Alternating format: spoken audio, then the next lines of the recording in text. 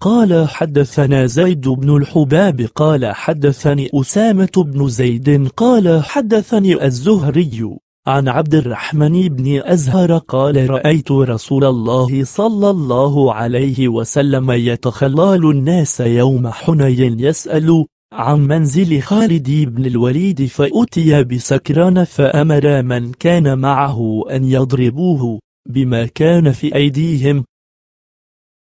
قال حدثنا عثمان بن عمر قال حدثنا أسامة بن زيد عن الزهري أنه سمع عبد الرحمن بن أزهر يقول رأيت رسول الله صلى الله عليه وسلم غزاة يوم الفتح وأنا غلام شاب يتخلال الناس يسأل عن منزل خالد بن الوليد فأتي بشارب فأمرهم فضربوه بما في أيديهم فمنهم من ضربه بعصا ومنهم من ضربه بصوت وحثى عليه رسول الله صلى الله عليه وسلم التراب.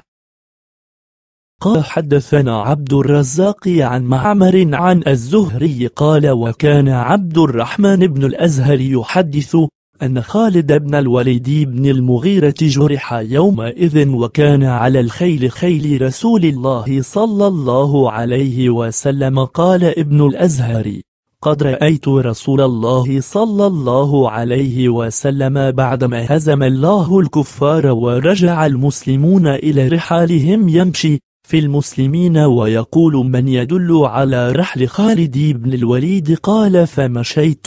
أو قال فسعيت بين يديه وأنا محتلم أقول من يدل على رحل خالد حتى حللنا على رحله. فإذا خالد بن الوليد مستند إلى مؤخرة رحله فأتاه رسول الله صلى الله عليه وسلم فنظر إلى جرحه قال الزهري وحسبت أنه قال ونفث فيه رسول الله صلى الله عليه وسلم آخر مسند المكيين والمدنيين والمدنيين عن النبي صلى الله عليه وسلم رضي الله تعالى عنهم.